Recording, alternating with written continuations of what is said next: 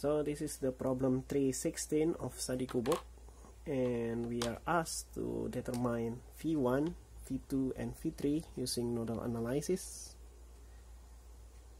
And as usual we will set this part as ground where the voltage here is we assume that voltage here is zero.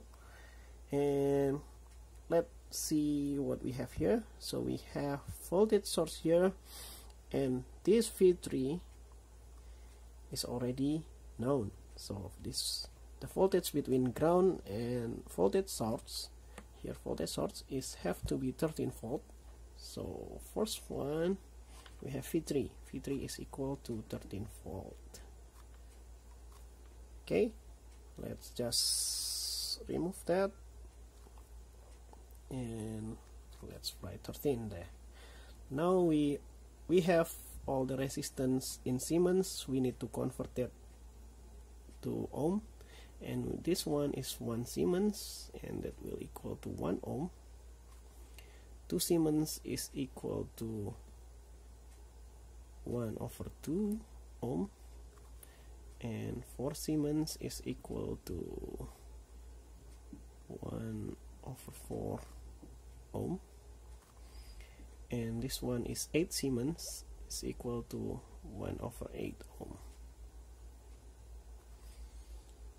And we are asked to find V1 and V2 V3 is already known. And this V0 V0 is equal to this one. This V0 is voltage between the ground and this nodes and that's equal to V2 so we can change this V0 here and here into V2 so this one is V2 and that one is also V2 and now we take a look at V1 and V2 and we know the difference between them. So V1 minus V2 is this dependent voltage source and that is equal to 2 V2 and now we will have V1 is equal to 3 V2 and we still need to find out one more equations. Let's save this as equation number one. Now I think we can take a look at this node for KCL KCL at V1 so the current I assume the current is going going here and this current is going here and that current is going there this current is going there and this current is going here and that current is going there. So the current that goes in is here this part so 2 ampere is equal to the current that goes out. There is three current that goes out. One two three. And we will have this current first. V1 over 1 plus this one. V1 minus 13 v1 minus 13 divided by this resistance. It's 1 over 2 and then plus.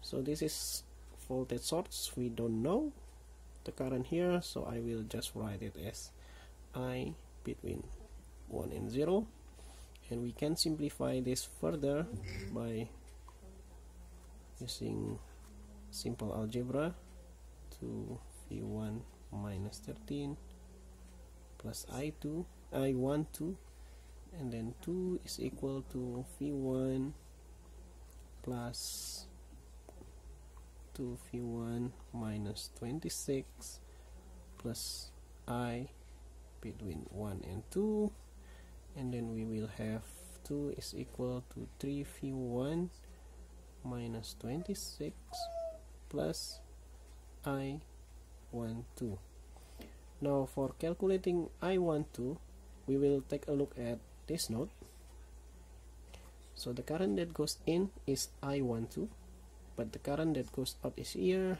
and that. So we will have 2 is equal to v1 minus 26 plus. So let's calculate that. The current that goes in is I12 and that equal that current that goes out. So that's equal V2 divided by 1 over 4 and then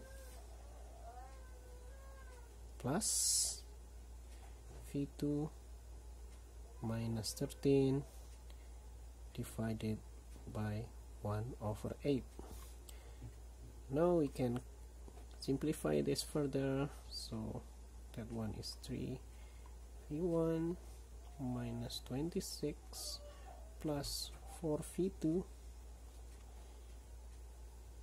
and then that one is 8 v2 minus what is 13 times 8 it's 4 104 let's save that. And then we will have 2 3 v1 minus 26 plus 12 minus 104 no.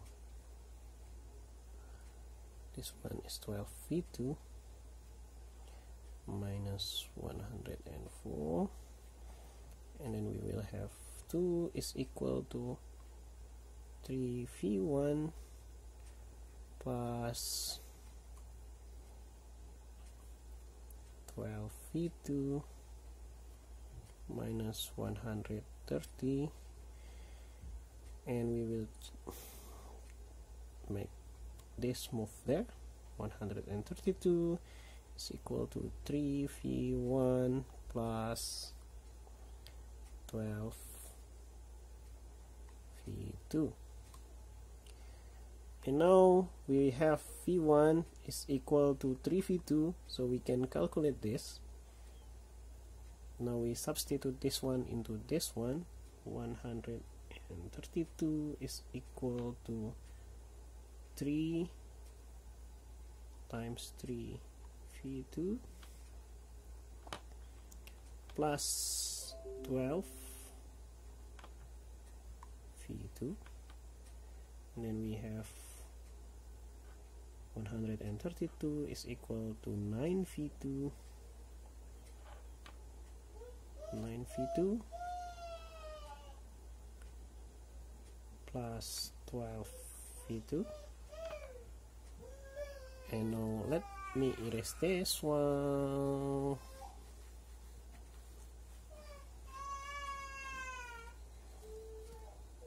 So we will have 132 is equal to 21 v2 and we will get v2 is equal to 132 divided by 21 and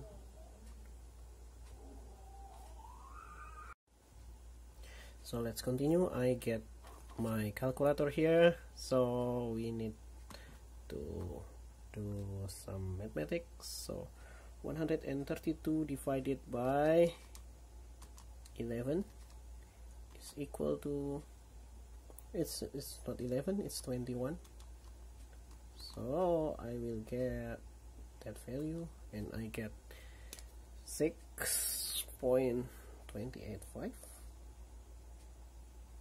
okay let's make that 20 8 6 4 and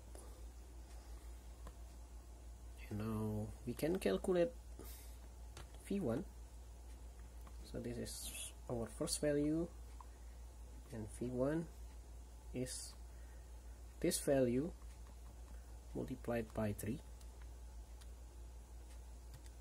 and then it will become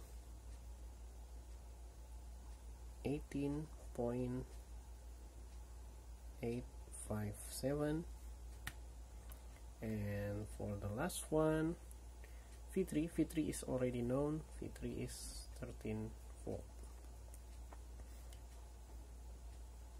so this is our final answer. This is for v2 this for v1 and v3 or maybe we can write it for the sake of clarity. So we will have v1 is equal to 18.857 volt v2 is equal to 6.286 volt and v3 is equal to 13 volt and this is our final answer. Okay thank you for watching